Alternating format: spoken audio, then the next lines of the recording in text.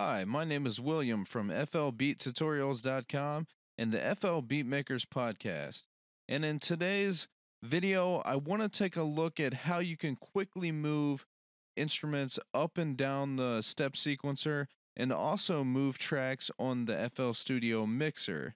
So uh, let's get right into it. The first thing you need to do is select the track that you want to move. In my case here, I'm going to move the snare. So I'm to select that by left clicking. On the keyboard, you hold the Alt key and then arrow up. And you can see it moves it up. If I want to move it down, just hold the Alt key and arrow down. So now let's go to the mixer and let's assign each one of these to the mixer.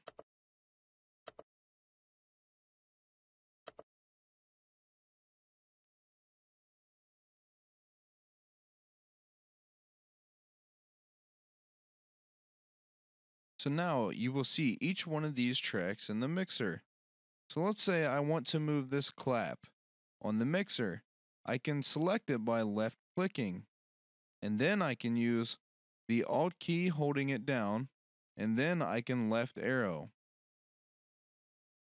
Or I can right arrow to move it the other way. Thank you for watching and please visit flbeattutorials.com.